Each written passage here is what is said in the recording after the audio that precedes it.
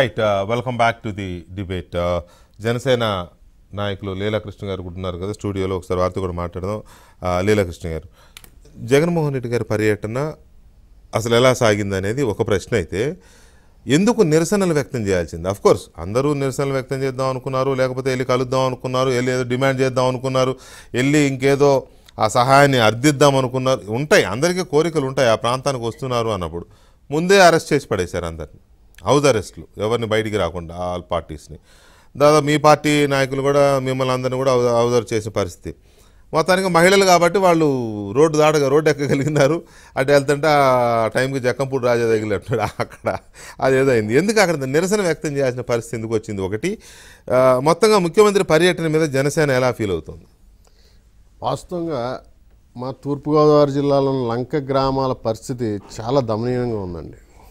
ఎంత దమనీయమైన పరిస్థితుల్లో ఉన్నారంటే ఈవేళ మొత్తం కూరగాయల పంటలన్నీ కూడా కమర్షియల్ క్రాప్స్ మొత్తం పోయినాయి. ఎందుకంటే మా కంద కానీ పసుపు కానీ ఇతరత్ర కూరగాయల పంటలన్నీ కూడా లంక గ్రామాల్లో విపరీతమైన పంట పండే ప్రాంతం అది.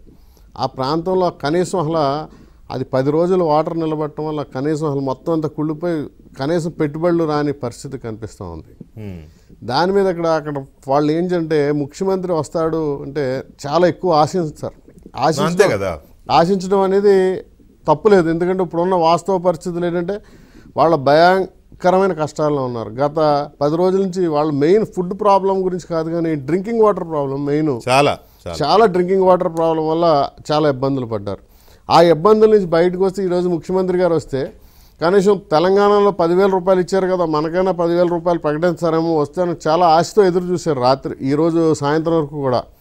ఎందుకు ఆశతో ఎదురు చూశారంటే కనీసం వాళ్ళ దగ్గర ఇవాళ మా ప్రాంతంలో మనీ రొటేషన్ అనేది చాలా అక్కడ ఆ ప్రాంతంలో తగ్గిపోయింది. కూరగాయల పంటలు కానీ మొత్తం అంతా నాశనం అయిపోవడంలో ఆదాయాలు మొత్తం ఆదాయాలన్నీ నీట మునిగిపోయినాయి కాబట్టి కనీసం వాళ్ళకి ఎంతో కొంత తోడు కనీసం ఇంటి ఖర్చులు ఒక నెల పాటు క్రాస ఖర్చులు కన్నా ఉంటాయని ప్రతి కుటుంబం భావించింది. కానీ దాన్ని ఈరోజు ముఖ్యమంత్రి గారు వచ్చి దాని మీద ఆశల మీద నీళ్ళు చల్లారని చెప్పాలి. ఎందుకంటే ప్రస్తావన తేలేదా? అసలు ఆ ప్రస్తావన తేలేదు. అది చాలా బాధాకరమైన విషయం. తెలంగాణలో పదివేలు ఇచ్చారు. తప్పకుండా మన ముఖ్యమంత్రి ఇంకా బాగా ఇస్తాడని ఆశించడంలో తప్పు లేదు కాబట్టి అందరూ చాలా ఆశించారు. రెండోది ముఖ్యంగా అధికారులు కొద్దిగా అధికారులు ఊపిరి పీల్చుకున్నారని అనుకుంటాను ముఖ్యమంత్రి గారు రావడం వల్ల. ఎందుకంటే నేను నిన్నటి వరకు చాలామంది అధికారులతో మాట్లాడాను. రాత్రి వరకు కూడా మాట్లాడుతూ ఉన్నాను. వాళ్ళకి రాత్రి నేను సాయంత్రం ఐదున్నర ఆరింటి వరకు నిధులు రిలీజ్ అయినాయి. పేమెంట్లకి. కూరగాయలు కుళ్ళిపోయి ముఖ్యమంత్రి వస్తాడు కాబట్టి ముందు రోజు రిలీజ్ చేశారు. కూరగాయలు ముందు రోజు మాత్రం కనీసం పడవలకి డీజిల్ కూడా బిల్లు లేక వాళ్ళు ఆపేసుకునే పరిస్థితి కదా. డీజిల్ బిల్లులు లేవు. పాపం వాళ్ళు ఏం చేస్తారు? అధికారులు జేబులో రోజు పెట్టరు కదా. వాళ్ళు అక్కడికే వాళ్ళకి తోచినంత పెట్టగలిగినంత పెట్టేవాళ్ళు కొంతమంది ఎంఆర్ఓలు కానీ వాళ్ళ స్థాయిలో ఆర్ఐలు కానీ ఎవరన్నా యూపీఆర్డీలు కానీ వాళ్ళ స్థాయిలో వాళ్ళు పెట్టారు కానీ. మిగిలింది పెట్టలేని పరిస్థితి. ఇంక బిల్లులు రావేమో అనుకున్న పరిస్థితి. రాత్రి కొంచెం అవన్నీ కూడా పేమెంట్లు రిలీజ్ అయినాయి అని చెప్పి అధికారులు చెప్పారు. ఈ కుళ్ళు ఇంకా కుళ్ళిపోయిన కూరగాయలు అది కూడా వాళ్ళు వాళ్ళు ఉన్న పరిస్థితులు బట్టి అక్కడ ఉన్న ప్రభావాన్ని బట్టి అక్కడ అధికారులు చేసుకుంటూ వచ్చారు తప్ప వాళ్ళు డబ్బులు ఇస్తే ఇంకా మంచి తెచ్చి తేగలిగేవారు నాణ్యమైన సరుకులు ఇవ్వగలిగేవారు. కానీ ముఖ్యంగా మా ఇప్పుడు ఆ ప్రాంతం లంక గ్రామంలో ఆదుకోవాల్సింది రైతాంగాన్ని పశువుల్ని సార్. ఆ రెండింటికి పశుగ్రాసం కానీ రైతులకి నష్టం కానీ ఈ రెండు కానీ జగన్మోహన్ రెడ్డి గారు హామీ ఇవ్వాల్సిన పరిస్థితి ఉంది.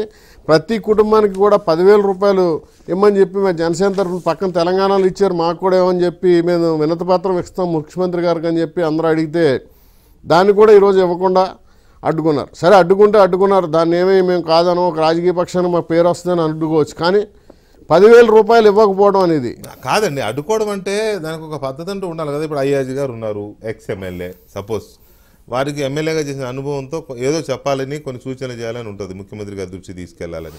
సూర్యరావు గారు అయితే సీనియర్ ఎమ్మెల్యే మంత్రిగా పనిచేశారు. ఆ అణగారిన వర్గాలకు ప్రతినిధి.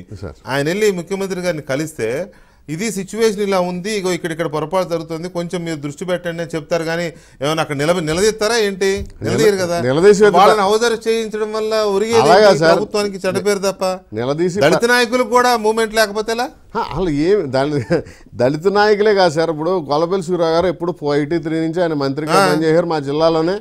బహుశా ఆయనకంటే సీనియర్ ఎవరు ఉండి ఉండకపోవచ్చు అంటే. యనమల రామకృష్ణ గారు ఆయనకంటే ఆయన. ఆయనకంటే సీన్ అటువంటి వాళ్ళు పిలిస్తే మా- ఇప్పుడు ఎవరన్నా పక్కన తప్పు మాట్లాడినా ఆయనే తప్పు పడతారు కదా. ఒరే బాబు ముఖ్యమంత్రిని ఈ రకంగా మనం రిక్వెస్ట్ చేసుకుని అడిగి తెచ్చుకోవాలనే సంస్కారం నేర్పించగల శక్తివంతుడు సూర్యారావు గారు. ఆయనకి నాకు అలాగా. అయ్యాజీ వేమ గారు కూడా చాలా సీనియర్. ఆయన కూడా మంచి ఇలా అందరినీ మాకు బహుశా మీరు ఆ తెలంగాణలో ఉండి మీరు అందరూ హ్యాపీగా ఉంటున్నారేమో. మేము మాకు మాకు సెపరేట్ చట్టాలు ఉన్నాయి. మా చట్టాలన్నీ సూర్యారావు గారికి వేమ గారు అందరూ బాగా స్పష్టంగా చెప్తారు. భాషలు కూడా వేరుగా మా చట్టాలు వేరు మా భాషలు వేరు. అందుకు సూర్యారావు గారు లాంటి పెద్దలు కూడా వాళ్ళని అరెస్ట్ చేస్తారంటే సూర్యారావు గారు వెళ్తే రెండు విషయాలు మంచి విషయాలు చెప్పగలుగుతారు. సీఎం గారికి సార్ గతంలో ఎందుకంటే అక్కడ పనిచేసిన ఎక్స్పీరియన్స్ ఉంది ఆయన చంద్రబాబు నాయుడు గారితో ఎందుకంటే రాజశేఖర రెడ్డి గారితో కూడా చాలా క్లోజ్గా పనిచేశారు సూర్యారావు గారు.